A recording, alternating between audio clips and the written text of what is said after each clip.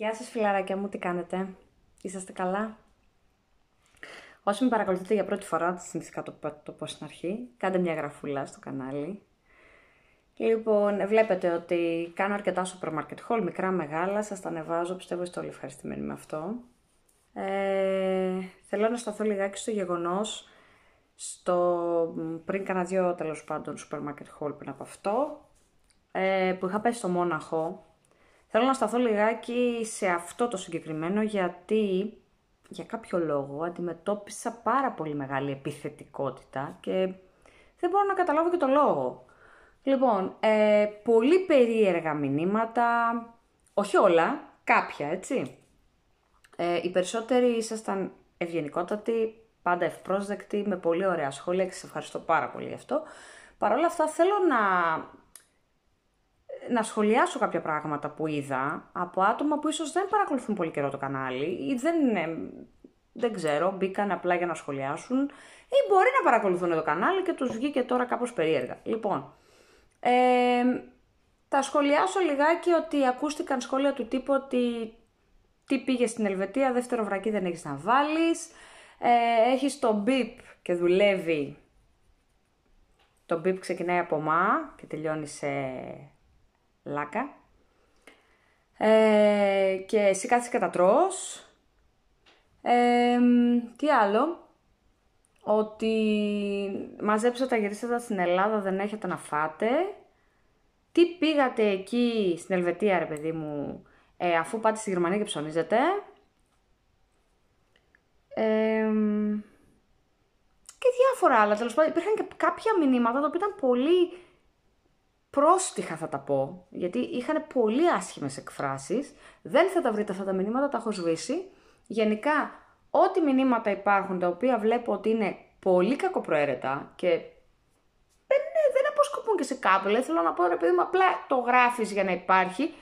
Απαντάω κιόλας από κάτω, τους απαντάω πριν που είσαι στη διαδικασία να το σβήσω. Δηλαδή, τους δίνω και το λόγο να απαντήσουν. Δεν απαντάνε ποτέ. Οπότε εκεί καταλαβαίνω ότι απλά μπήκαν, έγραψαν την κακία τους και γεια σας. Παρ' όλα αυτά, αντιμετώπισα ένα πράγμα πολύ επιθετικό από την άποψη ότι και καλά ρε παιδί μου αφού πήγες στο Μόναχο να ψωνίσεις για το σπίτι, α, ε, μου γράψανε τι κατοχή έχει στην Ελβετία, ε, επειδή πήρα αρκετά πράγματα.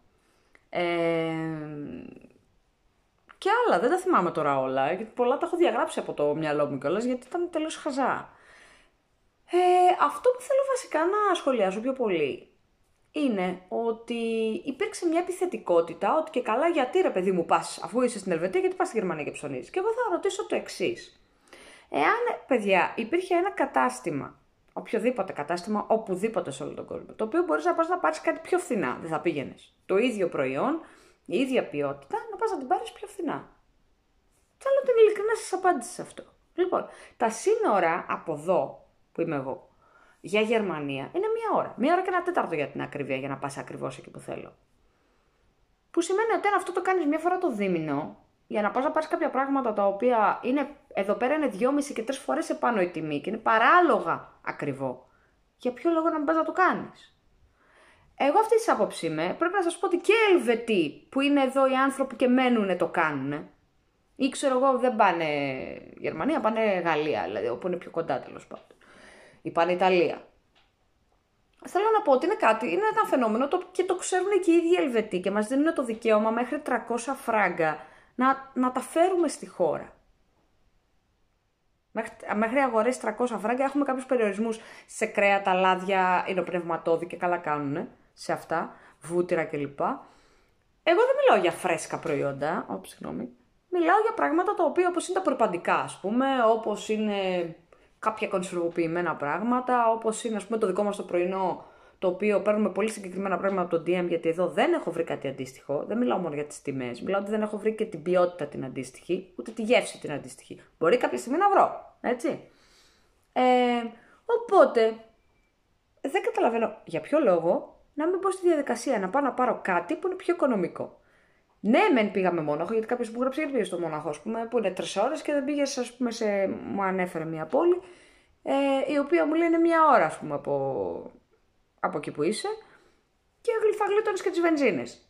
σε αυτό έχω να απαντήσω ότι μόνο έχω πήγαμε γιατί έπρεπε να επιστρέψουμε το βανάκι που είχαμε πάρει, το οποίο δεν ήταν δικό μας και έπρεπε να το επιστρέψουμε στο, στους συγγενείς του άντρα μου.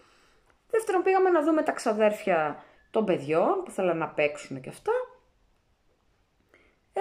Ε, και θέλαμε να κάνουμε και κάποιες δουλειές με τράπεζες, με τέτοια πράγματα. Και με ρωτήσανε γιατί πήγες πάλι στο πάζινγκ; Θα σου πω γιατί.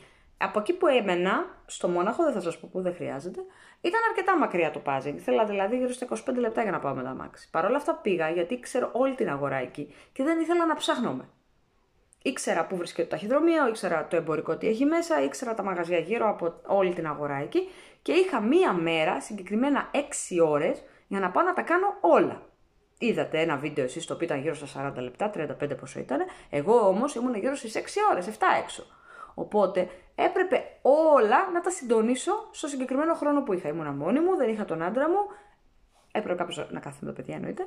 Ε, τους άφησα λίγο να, να παίξουν, να χαλαρώσουν με τα ξαδερφάκια τους και ο άντρας μου το ίδιο, γιατί έκανε ένα ταξίδι πάνω κάτω μετά τη δουλειά την Παρασκευή και πήγα εγώ να κάνω τα ψώνια. Και το θεώρησε ευκαιρία, επειδή ήταν μια πάρα πολύ καλή αγορά, θέλω να πω μεγάλη, να τη μοιραστώ μαζί σας. Πολλοί από εσάς το ευχαριστηθήκατε και κάποιοι βγάλατε απίστευτη επιθετικότητα. Αν λοιπόν είστε κάποιοι από αυτούς που γράψαν όλα αυτά τα σχόλια και βλέπετε αυτό το βίντεο, γιατί σε εσάς αναφέρεται στην ουσία αυτό το βίντεο, ε, πρέπει να σας πω ότι καλό είναι να έχουμε ευγένεια. Και όταν έχετε πραγματικά κάποια ερώτηση να κάνετε, μπορείτε να την ρωτήσετε με πάρα πολύ ευγενικό τρόπο. Με όσους με ρώτησαν ευγενικά τους απάντησα και είχαμε ένα πολύ ωραίο διάλογο. Ε, όσοι από την άλλη θέλετε να γράψετε την κακία σας, να ξέρετε ότι σε μένα τουλάχιστον δεν θα βρείτε αντίκτυπο δεν με ενδιαφέρει, ούτε με επηρεάζει, πάρα πολύ γέλασα κιόλας.